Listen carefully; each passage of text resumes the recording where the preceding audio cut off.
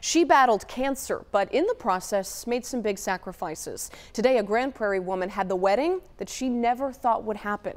Here's Kevin Reese. And I said, baby, you know, the lump that I've been going to the doctor for is breast cancer. When I first met Nikita Ferguson last month, it didn't take long for the tears to fall. Recounting the day she found out she had breast cancer and had to tell her 10 year old daughter. She says, Mama, you're going to die?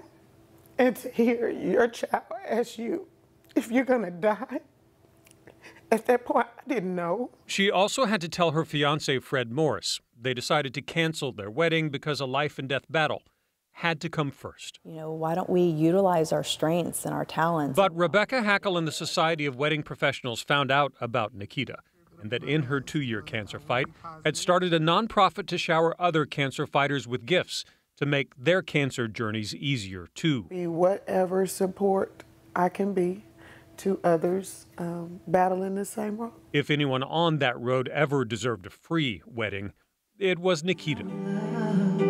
So Sunday afternoon at Hidden Creek in Heath, the Society of Wedding Professionals did just that. Nikita descended a second floor staircase, tears flowing again. He says love is patient and kind. And in front of family and friends, she and Fred finally exchanged their vows.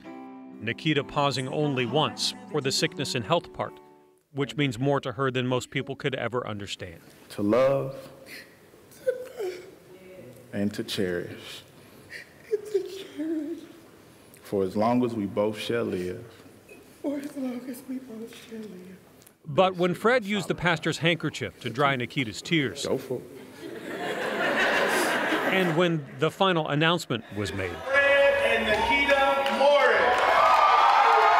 these all became tears of joy.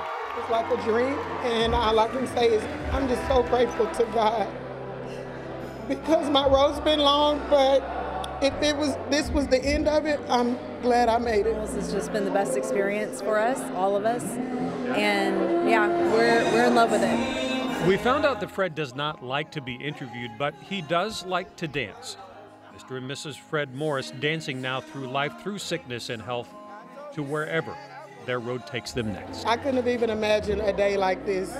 You know, it still feels surreal, and maybe it'll feel real tomorrow, but I'm just thankful to God for today. In Heath, Kevin Reese, Channel 8 News. Oh, they look so happy. The Society of Wedding Professionals hope to make this kind of a gift an annual tradition. Still to come here, a college controversy.